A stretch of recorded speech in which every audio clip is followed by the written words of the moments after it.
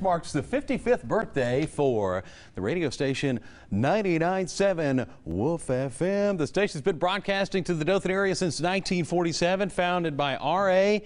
and Miss Agnes Dowling. The station started broadcasting news, weather, and music in 1964.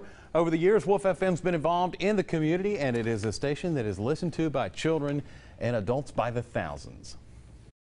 We used these things back in the day called carts.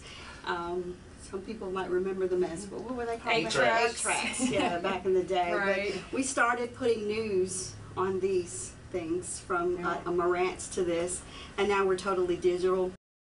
WOOF FM, one of the oldest running radio stations in the Dothan area, and our great friends out here on Broadcast Row on historic Highway 52.